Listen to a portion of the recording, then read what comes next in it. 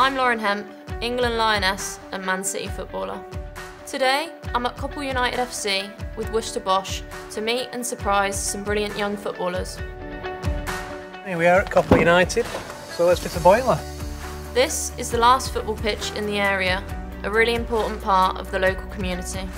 Sadly, the club's founder and sponsor passed away, and since then, the club struggled financially. Worcester Bosch asked me to get involved in their Warming Your Community project. It's clubs like this at grassroots level where it all started for me. Right then, who fancies a training session? That way! Whilst Mark gets to work, I'll have a kickabout with the kids. The old boiler was beyond repair, and with energy costs rising, the only way the club can keep going is with an efficient new boiler.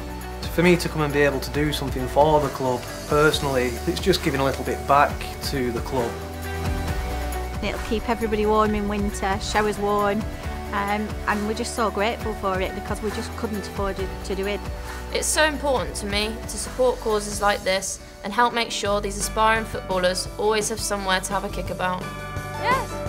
We can't thank Worcester Bosch enough for this donation of the boiler. It's just great for everybody. It's just amazing. We couldn't have done it without them. Worcester Bosch, warming your community. Put your community space forward